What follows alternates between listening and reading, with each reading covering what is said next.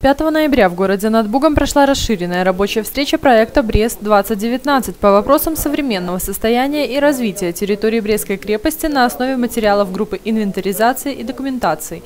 В ходе мероприятия были обсуждены итоги исследования территории крепости Брест-Литовск. Подходить к этому вопросу мы начали примерно год назад. Мы начали обсуждать, что, нужно, что можно делать с крепостью и поняли недостаток знаний, потому что на тот момент мы не знали, как устроена крепость. Чтобы э, проектировать что-то с крепостью э, к юбилею э, Бреста в 2019 году, нужно понимать, как оно устроено.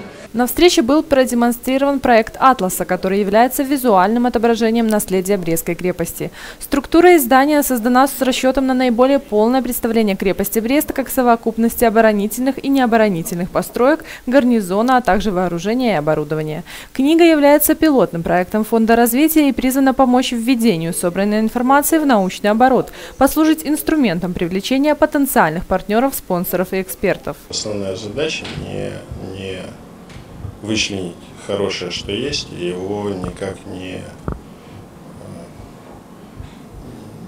не, не ухудшить, как минимум.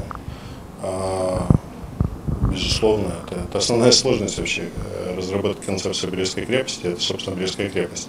Ее тысячелетняя история, это драма 41 года, это много-много различных исторических э, событий, которые здесь происходили. Э, И здесь, помимо, помимо этого, еще другая история, что есть большое количество разных интересов, которые здесь сталкивались. И как учесть зачастую там, полярные точки зрения, вот это проблема. Но интересно, это интересная задача, которая решаемая и решается.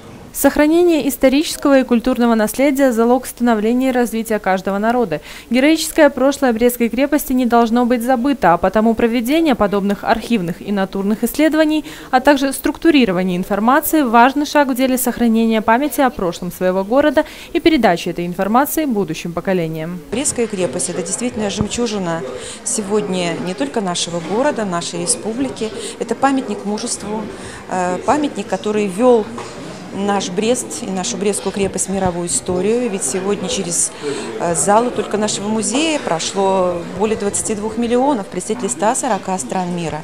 И то, что сегодня проектируется, то, что сегодня рассматривается, может быть, кажется на первый взгляд не совсем реально, но очень хотелось бы, чтобы та любовь, на которой основываются все эти предложения, профессионализм тех, кто этим занимается, и наша э, брещан позиция не навредить нашей Брестской крепости, все это нашло реализацию. Анастасия Стропко, Кирилл Липовик, Дмитрий Лазарчук, телекомпания Бук ТВ.